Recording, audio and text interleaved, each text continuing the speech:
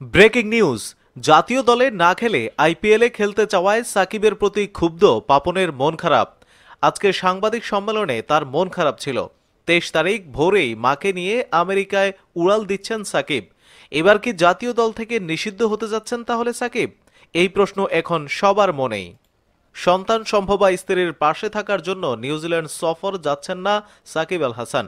পারিবারিক কারণ দেখিয়ে ছুটি পেয়েছেন আগেই। পরে শ্রীলঙ্কার বিপক্ষে টেস্ট সিরিজ থেকেও নিজেকে সরিয়ে নিয়েছেন দেশ তথা বিশ্বসেরা অলরাউন্ডার।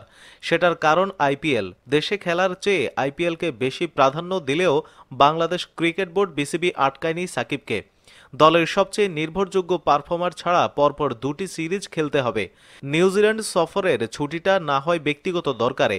আইপিএলের মতো ফ্রান্সাইজি লিগের জন্য শ্রীলঙ্কার বিপক্ষে গুরুত্বপূর্ণ টেস্ট সিরিজকেও না বলে দিলেন সাকিব।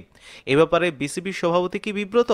না, নাজমুল হাসান পাপন প্রকাশ্যেই বলেছেন, সাকিব ইস্যুতে তিনি বিব্রত নন।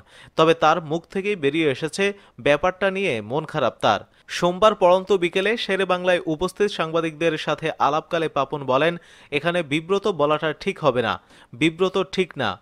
তবে মন খারাপ। আমাকে যদি বলেন, আমার মন খারাপ। কেন বোর্ড সভাপতির মন খারাপ? তার ব্যাখ্যাও দিয়েছেন পাপন। অনেক কথার ভিড়ে কিছু নির্জলা সত্য বলেছেন বিসিবি সভাপতি। সেই কথোপকথনে পরিষ্কার হয়েছে, সাকিবকে আইপিএল খেলার অনুমতি দিলেও ভেতরে ভেতরে বেশ মনক্ষুণ্ণ পাপন। তার কথায় অসন্তুষ্টি অনেকটাই বেরিয়ে এলো। পাপন বলেন, দেখেন, একটা খেলোয়াড়ের পিছনে কম ইনভেস্ট করি না। বোর্ড দশ পনেরো বছর ধরে যে ইনভেস্টমেন্ট করে, এটা আপনাদের সবকিছু জানা আছে কিনা তাও জানি না। এটা তো হচ্ছে খেলাধুলা লিমিটেড চুক্তি। চুক্তির বাইরে ইনজুরি হলেও কিছু আমরা দেখি। সব কিছু নিয়ে আমরা ওদের যে সুযোগটা এখন দেই, সেটা আগে কখনো চিন্তাই করা যেত না। ওয়েস্ট ইন্ডিজের বিপক্ষে ঘরের মাঠে সিরিজই নয়। তার আগে আফগানিস্তান, পাকিস্তান, ভারতের বিপক্ষে টেস্টের ফলও যাচ্ছে তাই ছিল। তাই সদ্য সমাপ্ত সিরিজটাকে বিচ্ছিন্ন ঘটনা মানতে নারাজ পাপন। টেস্টে টানা হারের মধ্যে থাকার সময়টায় দলের দায়িত্বশীল খেলোয়াড়রা ভরসা দেবেন। সামনের সিরিজটায় ভালো করার উপায় বের করবেন, এমনটাই আশা করছিলেন পাপন। কিন্তু সাকিবের সিদ্ধান্তে তিনি রীতিমতো হতাশ। খানিকটা ক্ষোভের সাথে বিসিবি সভাপতি বলেন, এই জায়গায় দল এরকম দুইটা টেস্ট ম্যাচ হারার পরে আমাকে যদি বলেন, এই দুইটার কথা, হার তো শুধু দুইটা না। আমরা টেস্ট ম্যাচ হেরে এসেছি আফগানিস্তান পাকিস্তানের সঙ্গে, ভারতের সঙ্গেও। আমরা ওয়েস্ট ইন্ডিজের সঙ্গে নিজেদের মাটিতে পরপর দুটি টেস্ট হারলাম। এরপর কেউ যদি বলে, আমি পরবর্তী টেস্টটা না খেলি, আমার ধারণা ছিল সবাই উঠে পড়ে লাগবে। টেস্টটা আমাদের জিততেই হবে। সেই জায়গায় কেউ যদি মনে করে, এটা খেলবে না, অন্য একটা ফ্রান্সাইজি লিগে খেলবে, এরপর আর কিছু বলার থাকে না। এদিকে মাকে নিয়েই আমেরিকা চলে গেলেন সাকিব। সন্তান সম্ভবা স্ত্রীর পাশে থাকতে আগেই বাংলাদেশ ক্রিকেট দলের নিউজিল্যান্ড সফর থেকে ছুটি নিয়ে রেখেছেন বিশ্বসেরা অলরাউন্ডার সাকিব আল হাসান। কেননা তার স্ত্রী উম্মে আহমেদ শিশিরের বর্তমান আবাসস্থল আমেরিকা।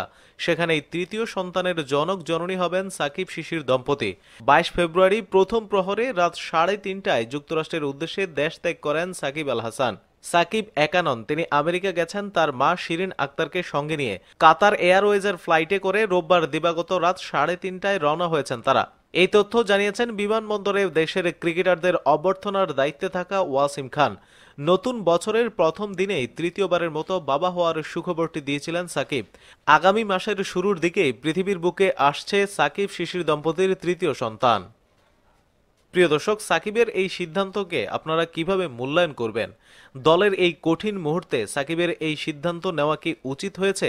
যদি উচিত হয়ে থাকে, তাহলে ইয়েস লিখে কমেন্ট করুন, আর যদি উচিত হয়ে না থাকে, তাহলে নো লিখে কমেন্ট করুন।